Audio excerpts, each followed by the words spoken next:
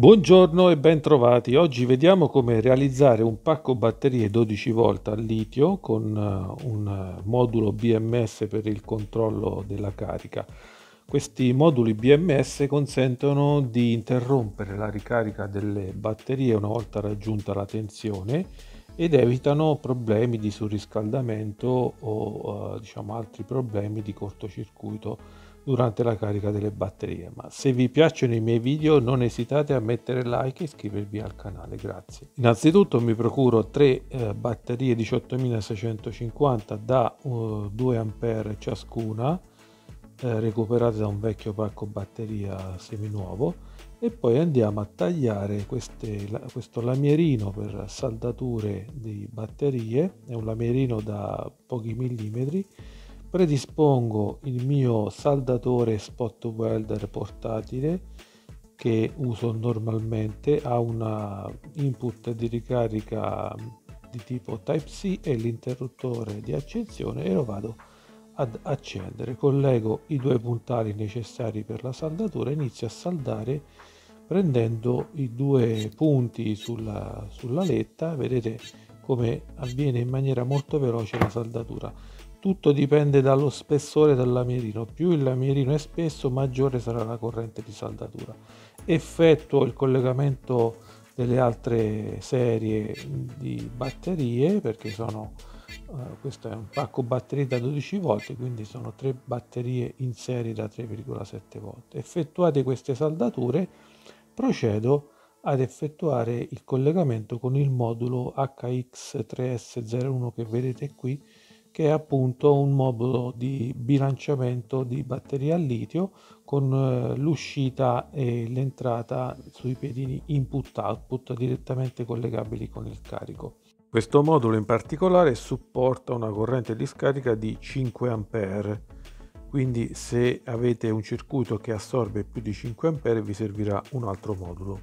A questo punto per effettuare il collegamento al BMS devo saldare dei fili sulla batteria. Vi ricordo che per poter effettuare delle saldature su una superficie smaltata occorre prima eh, carteggiare magari con il Dremel prima di poter depositare dello stagno che altrimenti non si depositerà facilmente.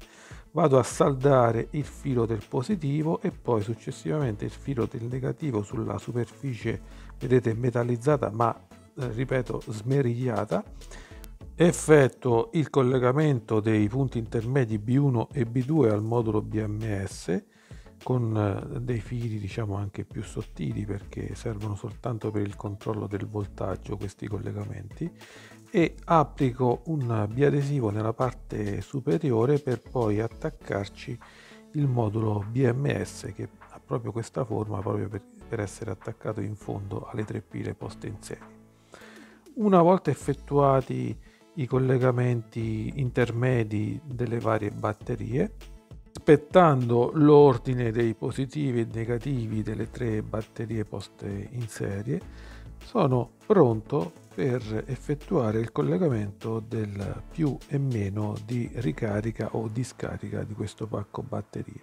Vado a stagnare i due capi P più e P meno e poi a collegarci dei robusti fili di positivo e negativo che mi serviranno sia per caricare il pacco batterie ma anche per scaricarlo con eh, un utilizzatore collegato ad esso.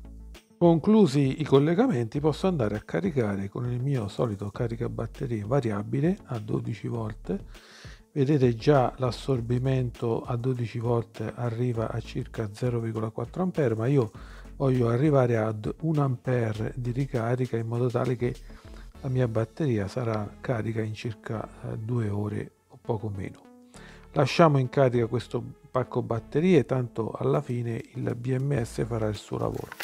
Prendo una, eh, un, diciamo, una plastica termorestringente per chiudere ermeticamente il pacco batterie ed evitare falsi cortocircuiti taglio un pezzo di questa plastica termorestringente la inserisco nel mio pacco batterie chiaramente ne esistono di varie forme e dimensioni e con dell'aria calda vado a termorestringere la mia plastica addosso alle tre batterie. In questo modo il mio pacco batterie sarà più eh, diciamo completo sarà più isolato dai cortocircuiti verso l'esterno.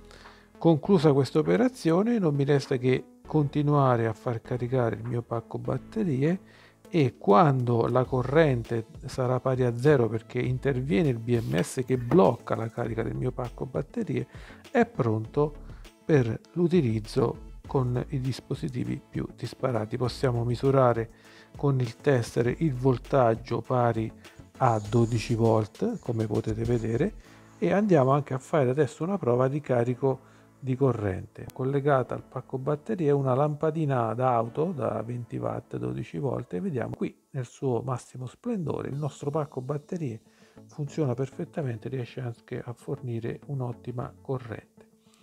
Bene amici, spero che questo video vi sia piaciuto, se è così vi invito a mettere like e iscrivervi al canale se non l'aveste già fatto. Io vi do appuntamento a tanti altri, tantissimi altri video in programma e ci vediamo alla prossima volta. Grazie e ciao.